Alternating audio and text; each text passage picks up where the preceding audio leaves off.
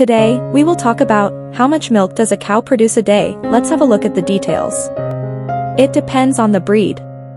Holsteins will produce around 75 pounds or 9 gallons of milk a day. Jerseys will produce around 21 pounds or 2.5 gallons a day. Angus cows will produce only around 10 pounds or 1.2 gallons a day, and Herefords a little less. The two former breeds, Holstein and Jersey, are dairy cattle, and the latter two breeds, Angus and Hereford, are beef cattle. Most dairy cows are milked two to three times per day. On average, a cow will produce 6 to 7 gallons of milk each day, which has resulted in a dramatic increase in milk production in recent decades and increased the reliance on concentrate feeds.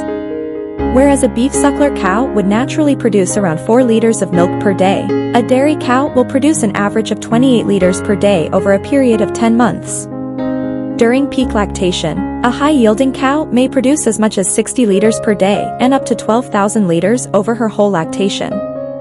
There are four things that can affect a cow's milk production.